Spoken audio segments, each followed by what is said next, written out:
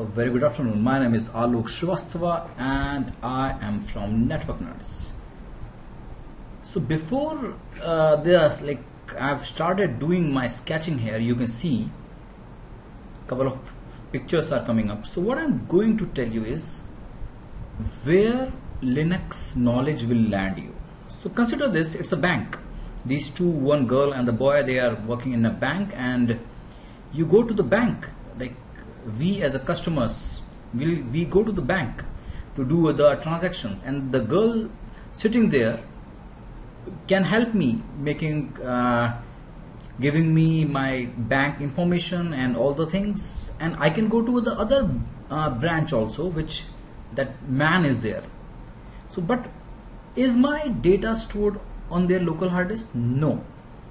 So data is being sent somewhere else the data is not stored in the local hard disk of my bank executive machine. The data is going somewhere else. Right? So data is not stored in the local hard disk. Data is on the move. Because if my data was on the local hard disk then I won't be able to access my bank details from a different branch. Right? So data is always on the move. Like this. So this is the area where we work in the bank. We go to the man or, or, or that beautiful girl there and we do the transactions. But the data is not stored here. So this area the bank here my bank I'm just let me draw a boundary here. So this area where we as a customer interact with the bank is known as the desktop or the workstation area right this is the area where the customers deal with the bank with, the bank executives like the girl and the boy there. But the data is not stored there in their local hard disk. Data is on the move. So data is being sent to some different places. Data will never be stored in their local hard disk. Because if the data is there in, in the local hard disk then I won't be able to access my data across India or, or across the world. So data is on the move. So where the data is going. So using switches it can be a Cisco switch or a Juniper switch or any other switch using networking infrastructure like using the switches like this. Different branch will have different switching. And then using complex networking technologies and the protocols and using the routing also. Here comes my router. So data is moved to their secure location. So this area where the data is being routed to a to the data center either within the organization or offshore. This is being handled by the networking guys. So we call it the network infrastructure area. Infrastructure means there here I have got switches and routers which handles my data. So data is constantly on the move. So the same data that the you have just inquired about is being moved over the network using routers and switches. But, but where the, the data is going? This is the most important part of a company. So a company is logically divided into three parts. One is the desktop or the workstation area another is the network infrastructure area. And third one this is the part. This is not the transformer kind of stuff. So this is the server. These are the servers where actually the company is storing their customers critical data. And the security here is the prime concern. Right? Because you won't like if your data integrity or say your bank account is being wrongly debited by one dollar or two or two dollar right? So this area where actually the data is stored is the most important area as far as any company is concerned or any bank is concerned or any organization is concerned. This is the area. So we call this area as a data center. And normally the bigger the company the bigger are the chances that these data centers servers will be running the Linux and chances are that they will be running Red Hat Enterprise Linux as their operating system on their servers in the data center. So when you are trying to learn Linux or when you are enrolling for course like Linux, so for RSC, RHCVA. That means you want to move inside this data center area. You don't want to work in the network infrastructure area. You don't want to work in the desktop area, but you want to work in the data center area, right? If you want to see yourself that if you do courses like MCITP or MCSE, that means you want to work in the desktop or the workstation area in any organization. I just given you an example of bank, but you want to work here.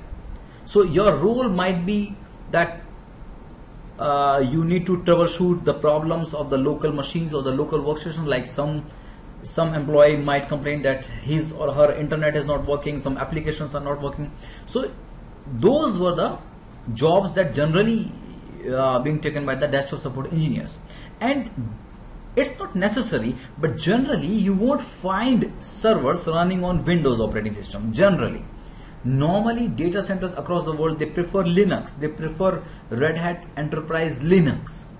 So if you want to work in the desktop area or you you you want to see yourself as a desktop support engineer then go for the courses like mcitp or mcse and things like that. But if you think no my flair is i'm more interested in configuring the switching and the routing configuring the vlan uh, doing the structured cabling, designing the network, then you should be doing courses like CCNA, CCNP. But remember friends, the data is not in the desktop or workstation area. The data is again not in the network infrastructure area. And I hope you will agree that data is the most important thing that the company is concerned about. If this laptop goes out or this laptop is like goes kaboom or the workstation is not working, I being the company I'm least bothered. If my switch is not working or it refuses to work I don't care. I care but but because the data is not there so I'm least concerned. My concern will be least. So what is the most critical part as far as any company is concerned be it Google or Facebook or any company? The data center. This is or any financial organization. Because the data center is the location where your data is stored this is the epicenter right now. This so the cost for you cost for cost for the company is not the time. The cost for the company is not the switch replacement cost or a laptop re replacement cost. The cost for the company is the data. That the data integrity will should not never be compromised. So when you do courses like RSC and RHCSA or RHCVA any courses in the Linux domain that means you want to see yourself working inside this data center as a Linux server admin or system admin. So you need to choose your domain very carefully. Which segment of the company or which area of the company you want to work with. So I personally think that if I am the company, so I will be more concerned about the data center, the data.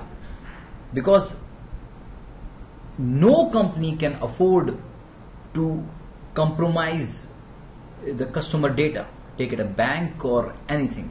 So when you do RSC that is very sure that you, you, want to see yourself as system admin or working as the Linux admin inside this data center. Right? So you should be very careful what where you want to land up. The idea is not to do the course. You should always begin with end in mind.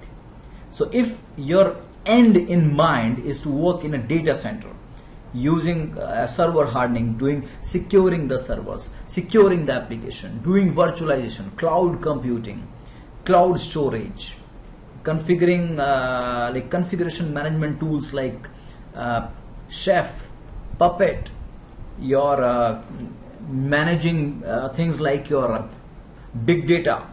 You you can use Splunk. So as the world is moving towards the cloud, the focus will be shifting to the data center.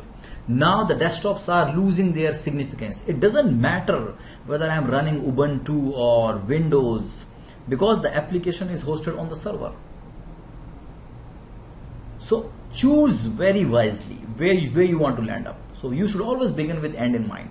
All things are good. MCSE is good, CCNA, CCNP is good, but the epicenter right now is the data center right so you should be doing linux if you have a flair of or if you want to manage the servers, the virtualization stuff, the cloud computing stuff, you should be doing Linux certifications, especially Red Hat Linux certifications. So I hope this small presentation will help you choosing where you want to end up. So friends, always begin with end in mind. Thank you very much. This is Alok Srivastava from Network Nuts. Bye.